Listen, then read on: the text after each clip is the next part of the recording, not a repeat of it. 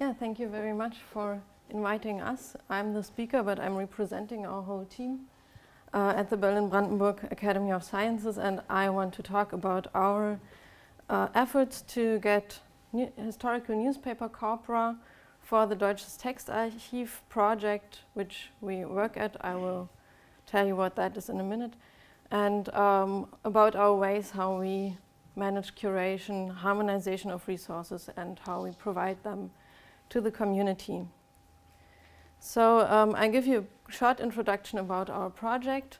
As I said, it's uh, called Deutsches Textarchiv in English German Text Archive. And our goal is to create a corpus of historical German texts dating back to the 17th to 19th century to enable the um, well, studies about the development of the New High German language.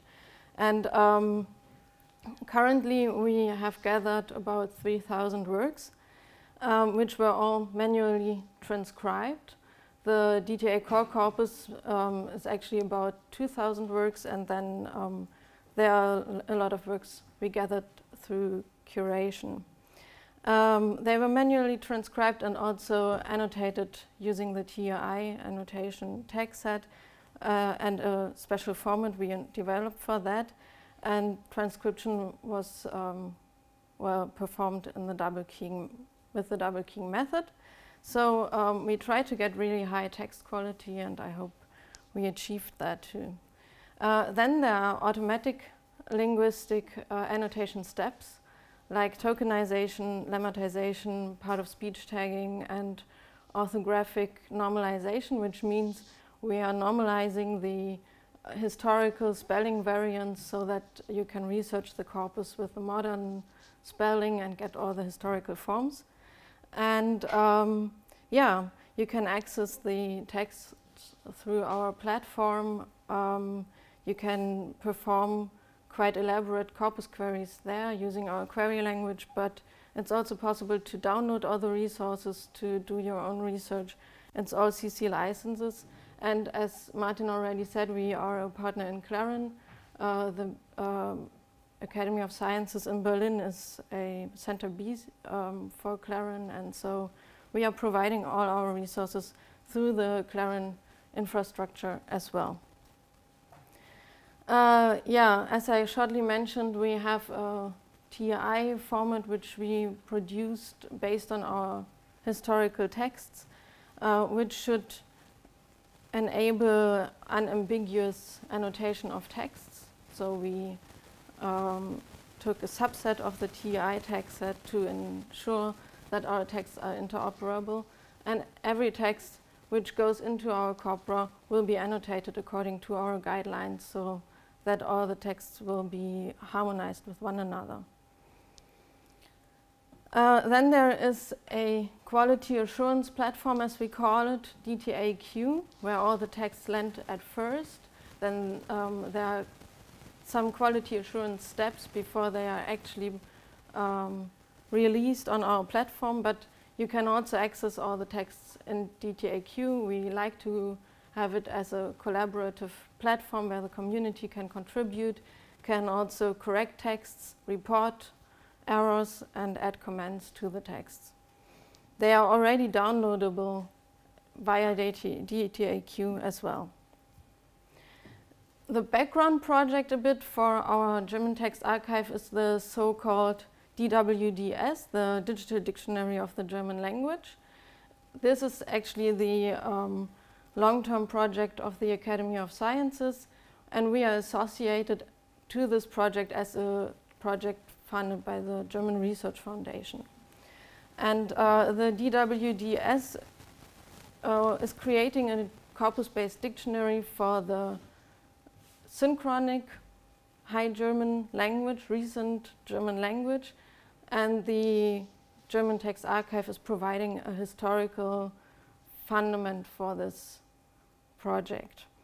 So there are newspaper corpora within the DWS, DWDS corpora as well, um, but these are uh, modern newspapers as you can see, the weekly newspaper Die Zeit or Berlin newspapers, the Tagesspiegel and Berlin Berliner Zeitung, Berlin newspaper. Okay, so the problem I want to talk about right now is um, the following. The DTA core corpus was created based on a fixed bibliography, and this bibliography contained very different text types, um, from scientific texts, functional texts, to fiction, but uh, it didn't contain any periodicals. So um, we didn't have journals or newspapers in our original bibliography.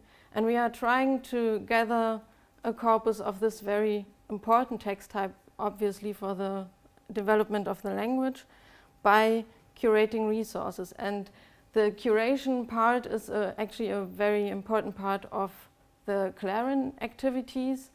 So uh, within Clarin, we actually have the opportunity to uh, be in contact with partners and to gather newspaper corpora through external projects actually who collaborate with us. Um, this is a graphic about, uh, well, maybe the workflow we are performing here. So um, texts get into the, oh sorry, DTA uh, in very different formats and we convert them into our DTA base format, which is TEI XML. Then they land into our quality assurance platform. They go through quality assurance steps, metadata, source images, everything is added, and then um, we publish them on our platform and also within CLARIN-D, as I said. So everybody wins. Uh, the DTA gathers new newspapers for the corpus. The projects who collab collaborate with us uh, have a platform where they can publish their texts, where they have quality assurance, uh, can work further on their texts, connect their resources with other corpora, and have a repository. And the community will have the possibility to access harmonized texts and collections in one format via the DTA, uh, have access to scattered resources which are now interoperable, uh, compare corpora, and so on. Um, so now I'd like to present you um, which corpora of newspapers we currently have.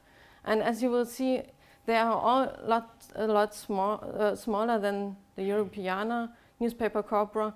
Uh, this is, of course, due to our uh, approach that everything has to be transcribed manually and there's a lot of uh, manual effort in that. So one um, collection is the Mannheim Corpus of Historical Newspapers. Here we collaborate with the Institute of the German Language in Mannheim. The um, Mannheim Corpus of Historical Newspapers has two parts. One is already digitized and is currently provided via the DTA. The other one uh, has to be digitized, which is done uh, according to the DTA workflow already, uh, which is really nice. Then there's the so-called Ham Hamburgischer Korrespondent, uh, newspaper from Hamburg, which uh, has been digitized in the course of a project at the University of Paderborn. The new, no, new Renanen uh, newspaper, Neue Rheinische Zeitung, uh, digitized at the Academy of Sciences in Berlin in the course of the critical edition of the complete, complete works of Karl Marx and Friedrich Engels. So it's a newspaper provided by them. And then there are other newspaper collections which are actually smaller than that from other sources. So here's a small overview uh, about what is actually provided right now and what are the processing steps we actually have to do in our project to uh, publish the newspapers. As you can see, some of the newspapers came in the TUSTEP format, had to be uh, converted to the DTA base format. Then we actually apply article text types if possible. So we um, make the difference between political news, financial news, uh, feuilleton, stuff like that. It's not done for all of the newspapers, but uh, for a significant amount of them, and especially for those which are now digitized from scratch according to the DTA workflow. So um, these kinds of projects really help for the whole workflow um, if we actually have a say in the matter from the beginning on, of course. Um, yeah, and as you can see, it's newspapers from very different times. Here, um, there's the actually the timeline for that. And as you can see, it's an opportunistic collection. It's not balanced at all. So um, we are taking newspapers which are of good quality from external projects, no matter du during which time or in what place they have appeared. Then when we have gathered a newspaper corpus, then we can say, well, let's create a subcorpus which is balanced, but right now we just have to try to build up a corpus for that. And also we want to contribute to the community that they can actually publish their resources via the DTA platform. So as you can see, the 1840s are really uh, well represented. This is especially due to the Neue Rheinische Zeitung, which has only was only appearing during two years actually uh, during the German Revolution. So um, you've got a lot of newspapers there too. And then you can see down here, um, these are all newspaper issues, but some of them are only from one newspaper, others are from diverse newspapers. This is uh, actually a, an important point here too. Yeah, access. We try to provide access for the newspapers over time through our platform, as I said. So some of the newspapers are already online. The um, Hamburg newspaper is completely online via the DTA platform. Some of them are still in DTAQ for uh, quality steps to be performed and others are in preparation and will be released via our platform, most of them by the end of this year. Of course, the Mannheim Corpus of Historical Newspapers too is currently digitized and might take a little bit longer. And then we've got um, a couple of journals too, which have been added to the DTA. One is the uh, Polytechnical Journal of Dingler, a technical journal which appeared during the 19th century at most, and which has been digitized by a project at the Humboldt University in Berlin. And it's accessible within the DTA for corpus queries because it's uh, a very large portal or um, collection right now. And another one, and this is the only collection we've got which uh, was originally transcribed uh, using OCR. Um, and that's the Grenzboten Journal, a cultural and political journal from the 19th century as well. Um, here the partner was the uh, University Library of Bremen. And uh, as I said, there were OCR um, steps for text recognition and then uh, now there are a lot of post-processing steps. We have to um, apply our layout and structural annotation somehow. We didn't get that from the OCR. We have to do correction steps of the OCR and it's actually a lot of work. So maybe an interesting resource to discuss what OCR does and what it can't provide as opposed to manual transcription and tagging. So um, as for the format, I already mentioned we've got our TEI format. We enhanced this format a bit for newspapers, provided documentation about how to annotate newspapers. If you're interested, uh, you could look into that. And um, well, yeah, some additional tagging solutions we applied were, for example, as I already said, um, values for divisions for article types, like political news, feuilleton, and so on. Also, introductory parts are a bit uh, individual for newspapers rather than for other books. So um, we did some adjustments to the format there. Um, and now we are trying to annotate other newspapers in a similar way according to that format. Some prospects about access and analysis of the newspaper corpora within the DTA, of course. Like all our texts, you can access them one by one. They all have like their own website with uh, metadata, and then you can get into the text and you can read the text or the see the um, XML TEI. You can also download the text in different formats, and so on. Um, some of them are still in the quality assurance platform. You can also access them then. It's just uh, that you have to sign up for DTAQ and then you can access all the texts and you can download them there too and as I said correct them stuff like that. Then you can also research the texts um, via our platform. We've got our query language which is called DDC and uh, this is an example for a query I did on just political news articles which are coming from one newspaper, the Hamburg Corres Correspondent, and I was um, searching for the term session. Here you can also see what the linguistic analysis did, so the lemmatization and POS tagging enabled us to find uh, different variants of the, the morphological variants of the term by just searching for one term.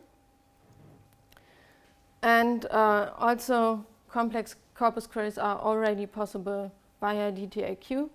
So texts which are still in there can still be queried using DDC. And in this case, I was searching for session uh, in all texts which were classified as a newspaper. And so here you can see I found very different newspapers and I can scan through the results here. Then uh, we've got a tool called DiaCollo, which has been implemented by my colleague Bryan Jurish. Uh, what it does is, um,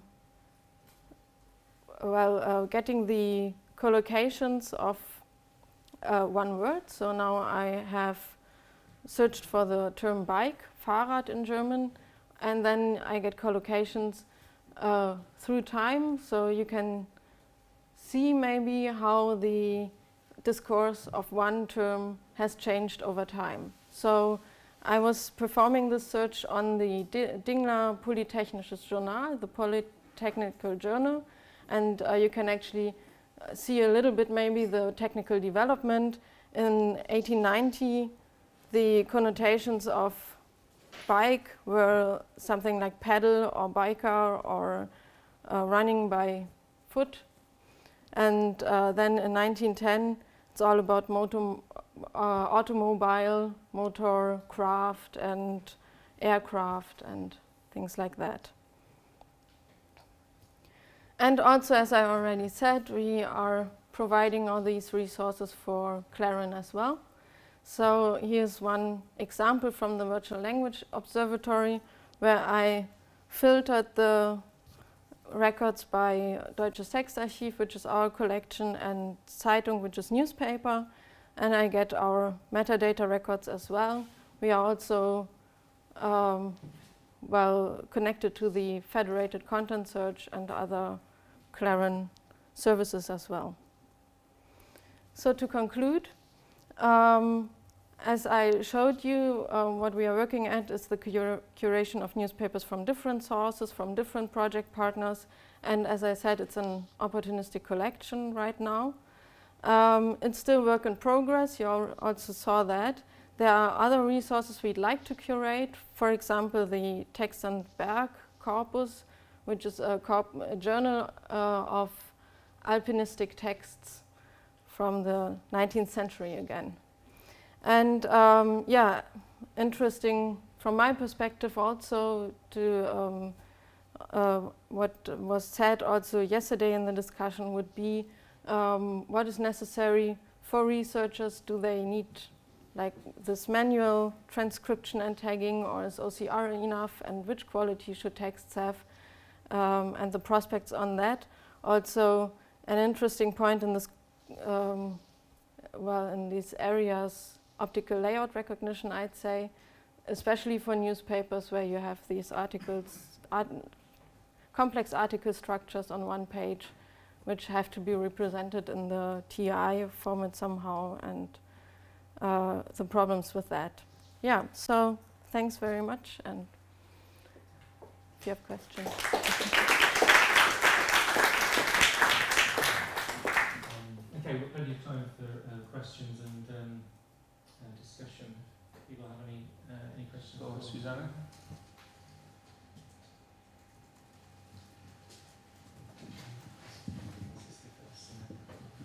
Um, yeah, thanks for this uh, very impressive um, overview of rich functionality. Um, you've, you've paid a lot of attention to um, uh, quality management, and I was wondering whether you had involved um, users in the assessment of the functionality and whether you can already point to studies that have been made possible uh, by this portal. Um, um, yeah, we we do have other curation projects, not only for newspapers as well, and uh, project teams um, who are actually using the DTAQ platform for their further work on their texts. There are also editors in this platform which they can use, and uh, I think um, it works quite well. They also give us feedback, and we try to implement the functionality they need. Um, so yeah, uh, and also that we once did one study. I don't I don't know if that's maybe what you mean about actually the quality of our texts. So we had people proofreading our texts in DTAQ, and then we took the results and saw uh, how good is quali the quality of the double keying method. So this was one small study we once did for that. But uh, I think as for the actual quality, uh, and then we had one curation project actually where uh, OCR texts were corrected and then we, or our partners, uh, tried out different Clarin web services with the old text and with the new text and they um, took a look at the results and compared them to one another. Um, but that's about it. There are not more studies than that. We try to encourage people to do some more of these works. Yeah. Uh, I like Deutsches Text Archive very much. I sometimes show this project to my students who maybe will be future information workers or librarians or something like that as a new uh, perspective. Um, and I have one remark. Uh, two uh, presentations. The first one was a library, the second one is a corpus. I don't see much difference. Of course, it is not the same. But uh, I think that uh, this is another proof that there is some confusion regarding uh, the idea of text corpus. Uh, this is for me uh, a very modern enhanced digital library where you can read and you can apply uh, all uh, beautiful tools of digital humanities. So instead of reading paper by paper, you ask one question. Please tell me, was this parameter growing within 50 years? Yeah, well, we actually try to. What, we have been doing with libraries, but very strenuously reading one one paper, one papers one by one. Here, this is like using uh, a library rather than uh, using uh, a, a, corpus. Mm. Well, from the beginning, we tried to address different user communities. Actually, also uh, representatives of literary studies or um, uh, scientists in the field of edition creation who could take the texts and further annotate them with their comments and uh, things like that. And I think we achieved that. There are really different types of research questions to our corpus, but it's also, of course, a corpus for linguists. And we do have these linguistic features. We do have the possibilities to query the corpus from a linguistic point of view, but there's also additional functionality. So we are really trying to get a broad community since, yeah, texts are interesting for lots of people. Um, I think in reaction to, to your question and your comments, uh, what I have understood from from scholars up till now is um, um, that if a, um, a data set, let's call, let's call a data set to stay neutral, if um, it uh, is the result of uh, a careful um, selection uh, with a research question as background, then it becomes the kind of object that uh, historians or uh, people from literary studies uh, and what have you um, can can use, uh, and then the quality is of course an enormous extra advantage. But as as um, as you said, we have here an opportunistic um, collection. That means that um, the selection is in a way arbitrary. And for some research purposes, that is not enough as a basis for research. So maybe for linguistic purposes, uh, it doesn't really matter whether you, whether you uh, have everything from a certain period or from a certain title. But for some research uh, domains, it is important. So I think you should keep have, yeah we have to keep that in mind. Yeah. Well, um, there is always the DTA core corpus where we tried to create a balanced selection of texts, right? So this um, should should be the core corpus as I, as uh, we named it, and uh, there you can you should be able to really see the progression uh, progression over time for different text types, and then all the stuff we curate, these are actually subcorpora. In some in some cases they are really specific. Like we've got a huge subcorpus of funeral sermons actually, because there was one project about that cooperating with us.